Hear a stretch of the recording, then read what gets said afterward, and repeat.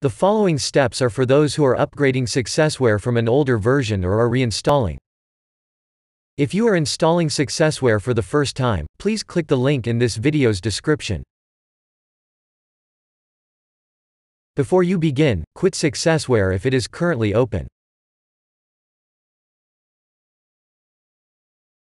After downloading Successware, open the downloaded file.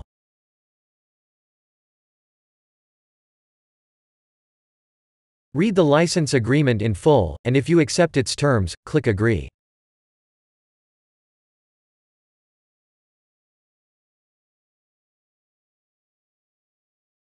Double-click the Applications folder icon to open your Applications folder.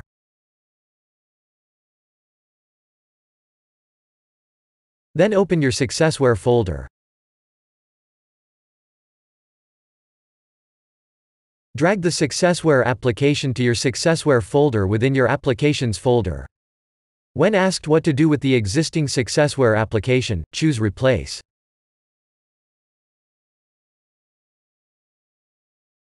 And you're done.